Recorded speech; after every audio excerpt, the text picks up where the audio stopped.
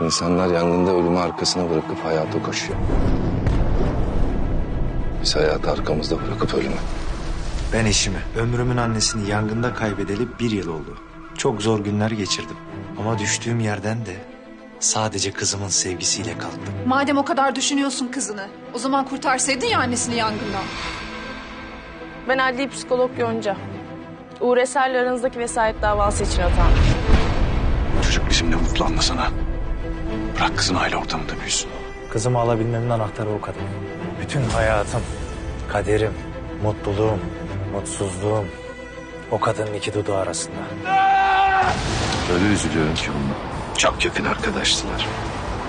Kardeş gibiydiler. Bu kadar çaresiz bırakma adamı.